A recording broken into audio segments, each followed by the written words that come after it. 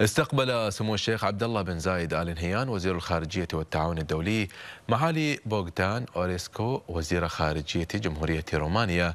جرى خلال اللقاء الذي عقد في ديوان عام الوزارة بأبو ظبي بحث سبل تعزيز التعاون في عدد من القطاعات ذات الاهتمام المشترك انطلاقا من العلاقات الثنائية المتميزة التي تربط بين البلدين الصديقين. واستعرض الجانبان تطورات الأوضاع على الصعيدين الإقليمي والدولي والمستجدات في المنطقة وتبادل وجهات النظر بشأنها.